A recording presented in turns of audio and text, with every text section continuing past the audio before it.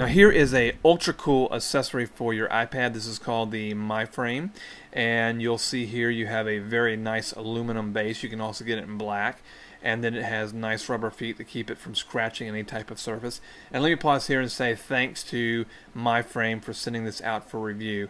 Now it also comes with a 5 foot sync cable and this is great if you want to hook it up to a charger or to your computer as well. Now, the other cool thing about this miFrame is when your iPad is not in, it actually has a clear plastic sleeve to house a regular 8x10, so there's always something in the frame to give it a very natural look.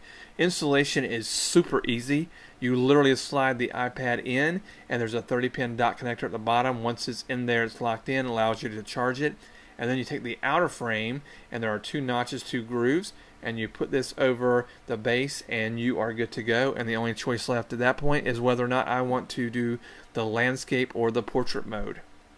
Now personally for me I found more use in the landscape mode for a lot of applications. Now, obviously, you can do a photo slideshow. That's great. That's awesome. You know, it's a wonderful thing to do. But I have used it actually more often as a stand function, and that has come in extremely handy for watching movies like on Netflix, but in particular for perusing newspapers like the Wall Street Journal.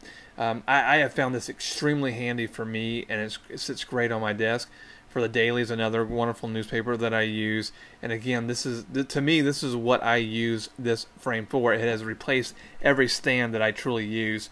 You can do magazines as well. You can do, uh, like I said, movies, slideshows. Another cool thing that I found, which I really like, is there's a number of photo applications. So if you didn't want to use your own, you can select a couple of these. This is the Stuck in Customs one.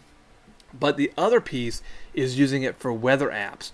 You can use it for weather apps. You can use it for the alarm clock apps that are out there.